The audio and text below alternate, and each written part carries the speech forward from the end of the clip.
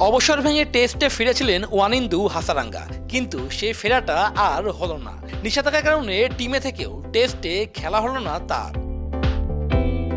T twenty বিশ্বকাপের শুরু থেকেই খেলতে এমনটা করেছেন এই লেগি। এমন আলোচনা সর্বত্র। তবে দলটির ম্যানেজার মালিদা আলাঙ্গদা জানালেন, এমন কোনো কারণ নয়।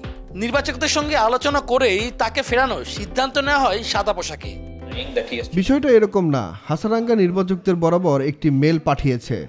তিনি টেস্ট খেলতে চান। নির্বাচকরা বিষয়টি ইতিবাচক হিসেবে নিয়েছে। এছাড়া তেমন কিছুই না। বিশ্বকাপে তাকে শুরু থেকেই খেলানো নিয়ে আমরা এটা করেছি।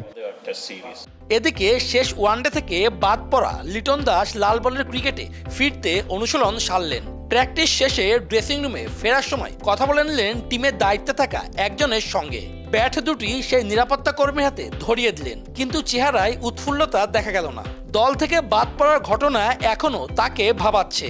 বাংলাদেশ দলের একাদশেও আসতে পারে চমক। তিন পেসার নিয়ে মাঠে নামলে অভিষেক হতে পারে বিপিএল গতির ঝড়তলা বোলার নাহিদ রানার। সেই রানাকে এদিন প্র্যাকটিসে দেখা গেল ক্যাচিংয়ে বাড়তি মনোযোগ দিতে। দীর্ঘক্ষণ করলেন ক্যাচিং প্র্যাকটিসও।